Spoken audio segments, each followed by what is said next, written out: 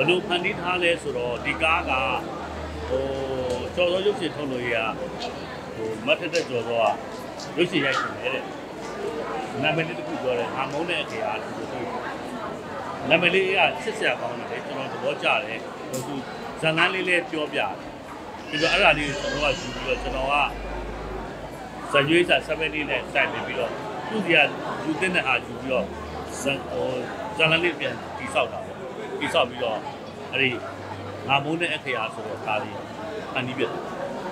ဘာဘာမှတော့ထူးဆန်းတော့မရှိပါဘူးအဲမတ်ချက်ကသူဒီလိုဇက်ကလေးစဉ်းစားထားတယ်ဦးညီက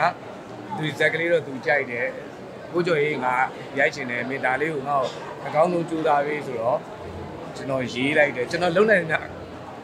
ကျွန်တော်လုံနိုင်တဲ့အတိုင်းအတာအတွင်းမှာကျွန်တော်အကောင်းဆုံး ကြိုးစားခဲ့လိုက်တယ်ဒါပါပဲအဲ့ဒါကတော့လေဒါလူငယ်တဘာဝဆိုတော့လေဟိုဒါတော့ရိုင်းနေရေးတန်းလန်းဆိုတော့ကျွန်တော်စိတ်တက်ပါ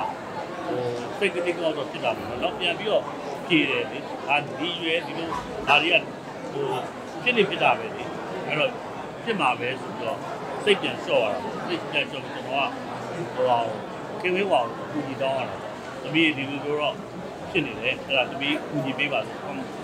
ခင်ဝေးဝလည်းကျေးဇူးတင်ပါတယ်ရောက်လာပြီးတော့ဒါလေးကိုဆွဲရိုက်ပြီးတယ်နောက်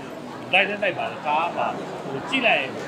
ဟိုဒီဇက်ကောင် main ဇက်ကောင်လေးယောက်ကသူ့နေရာနဲ့သူအဝင်ကိုကြဖြစ်တော့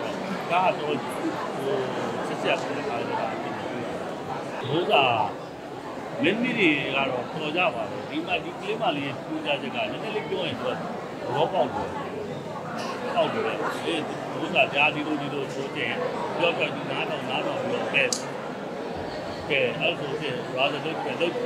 ဟိုသူကသူ့ကကားပြောတော့ကားလို့ကြည့်ပဲကြည့်လိုက်လုံးလိုက်တဲ့ကွက်တီပဲကျွန်တော်တို့လူနေတာလေဒါကြည့်ပိတ်ခေါ်ပါလေပိတ်ခေါ်ခြင်းကြောင့်ရဒီကားမှာဆိုအောင်ရင်လင်းကိုမြင်နေကြပုံစံမျိုးပဲနဲ့ကြည့်ရမယ်မြင်နေကြပုံစံမျိုးတဲ့ item နဲ့မြင်ရမယ်ကျန်တဲ့ things ဆောင်လို့ပေါ့နော် တော့ငါကြည့်ပြီးတော့ get တက်တယ်